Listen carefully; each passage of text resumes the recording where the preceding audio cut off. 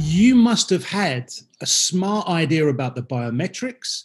You must have looked at every because of your physics background, you'd have an engineering, you'd have dismantled the whole event and then rebuilt it in your style, in your form that gave you. Surely, did you have an unfair advantage? Is what I'm asking. I suppose we need my to brain. outlaw physics because people will have an advantage. Yes, it was. It no, was my brain. It's, it's, called a fair advantage. That's what it is. yeah. I um I taught myself to run well 13 hurdles. I was a very good high hurdler. I was running like 13 six Mm-hmm. and uh, I dropped my 400 flat down. so just to, just to be clear, that would be the 110 meter high. 110, yeah, yeah, yeah. Uh-huh. 110, and then I ran from from my sophomore year to my junior year. I won the conference in 47.5, and I felt like I had made it in track and field. Well, at the first meet of my junior year, which was 76 at the Florida Relays, uh, I started the season with a 46.1. So that was like a second and a half uh, a drop right from the beginning. And then when I ran the 400 hurdles for the first time, um, I had been doing a lot of power running, cross country running. So I was in tip top condition. All I had to do was teach myself how to run the hurdles 35 meters apart. And the first time I did it, I found myself running 13.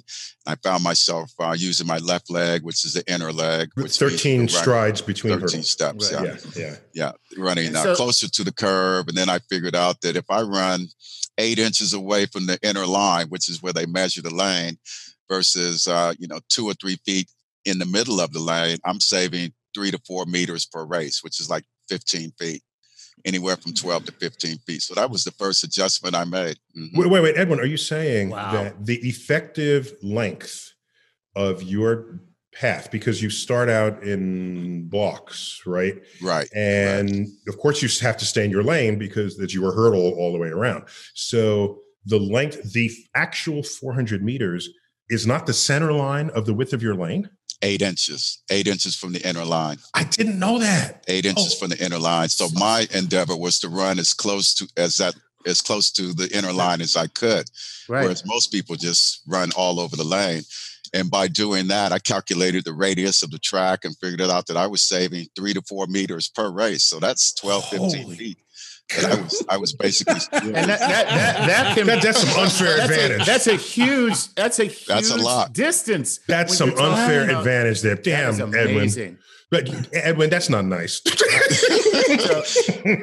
so everyone was always asking me what the secret was, but I would never talk about something as simple as that. They thought it was, you know, uh, why would, why whatever it could be. But it was a combination of 13 steps. I was a very good technician.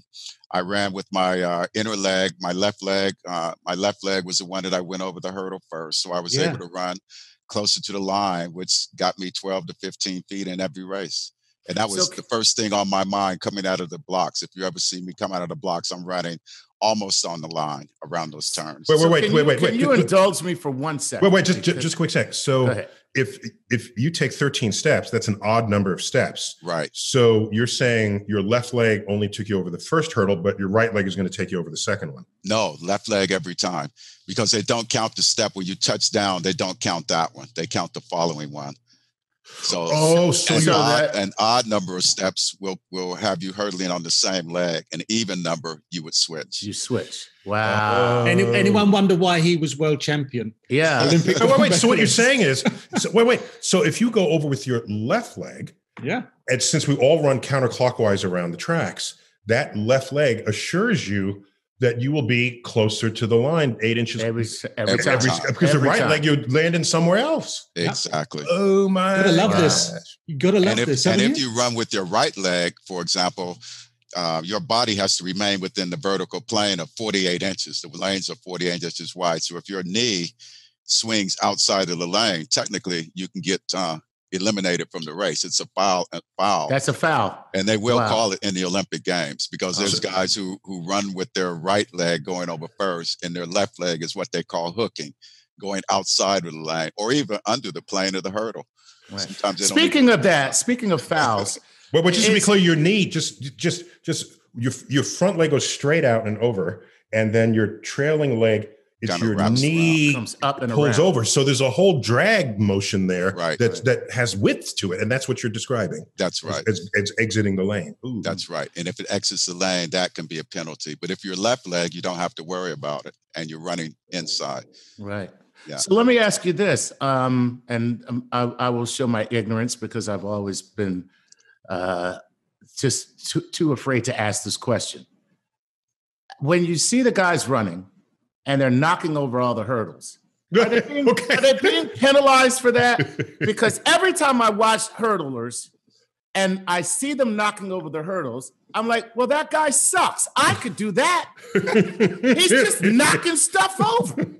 Well, the federation, the federation did a trick on that because when I was running, I think it took 18 to 20 pounds to tip over a high a high hurdle. It would take 20 pounds Oh. of force to knock it over. They reduced that to 12. So uh, during Roger Kingdom's era, and he won two gold medals. Those guys were knocking over hurdles every time. In my era, they had big lead weights on it. One was flip forward and one was flip back. And if, you hit, Oh. if you hit any hurdle, it would it would take away from your Chuck, race. it had to Right, go there. so- He's saying, in my day, it Yeah. snowed in both directions, Yeah. and I we had it hard. But- but I okay, get it. I keep get whining. Go- So go- they, had, they had to change the rules to keep up with the old dogs. That's what they did. There you go. nice.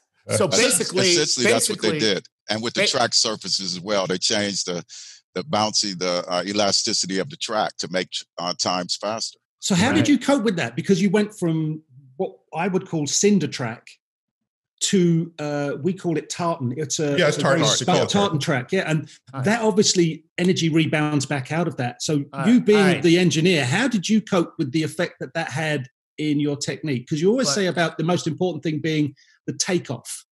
Yeah. So And that first, must have- before you before you do that, maybe there's somebody listening who's like me, who is not a track aficionado like you three, and doesn't and doesn't know what a cinder track and a tartan is. all right, cool. Okay, rubber track. The, the tracks you see now, the rubberized surfaces. That's what that's what he means. It's a trade name.